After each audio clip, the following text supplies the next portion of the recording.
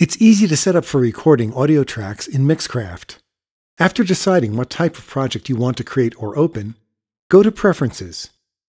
Choose the driver your interface manufacturer recommends. With basic 2x2 interfaces or a sound card, Mixcraft will automatically choose those inputs and outputs as the default stereo ins and outs. With interfaces having multiple inputs and outputs, you can choose any stereo pair as the default. Arming a track enables it for recording using the default inputs. However, you can use a track's drop-down menu to select any input pair, and this will override the track's existing default. The track will remember this assignment, so arming this track will enable it for recording from the inputs you selected. When using interfaces with multiple inputs, make sure you choose inputs that match your audio interface's physical connections. For example, if you patched a mic to input 3 and an electric guitar to input 4, select inputs 3 and 4. Click OK. We'll record a mic'd acoustic rhythm guitar part in track 1, so track 1 should listen to input 3. Click on track 1's ARM recording drop-down menu and choose the left channel. This corresponds to input 3. Selecting an input automatically arms the track for recording, which colors the track red. Click on the speaker button so you can hear the sound you're recording. Play your instrument. You'll hear it through your headphones or monitor speakers hooked up to the interface, as well as see the track's meters light up. If you hear a delay, that's called latency.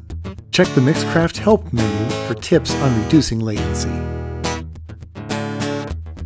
Now, let's tune up before recording.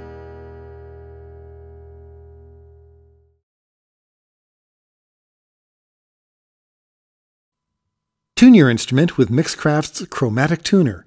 Just click on the Tuner button. Play a note on your guitar, bass, or other instrument. Bars to the note names right or left show whether the pitch is sharp or flat, respectively. When the note's in tune, the note letter has a blue background.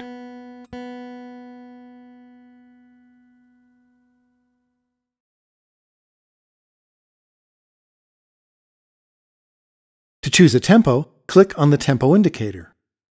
You can select a preset tempo from the drop-down menu, or type in a tempo. But perhaps the easiest option is to click on the Tap Tempo button at a tempo that feels right. Mixcraft measures the time between clicks and derives the tempo. Look at the tempo readout and note the average reading. Leave it on a tempo or enter a rounded off number. Click on OK.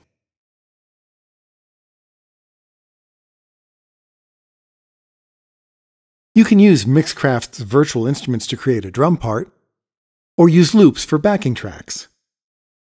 But if you're in a hurry, just set up the metronome. You can always add drums later. Click on the metronome button. Choose metronome during playback and or recording and specify a count-in measure or two. Click OK to complete the metronome setup.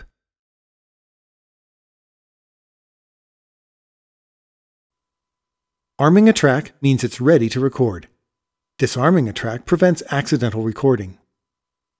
Although selecting an input arms a track automatically, you can arm or disarm any track or tracks at any time. While you're setting up to record, choose the timeline calibration. Beats is best for music. Click the Transport Rewind to Beginning button to make sure you're starting from the song's beginning. Now, click on Record. Wait for the count-in and start playing.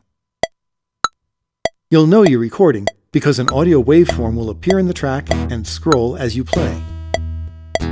After recording your part, click on Stop. And before moving on, keep your tracks organized by naming them and choosing a track icon.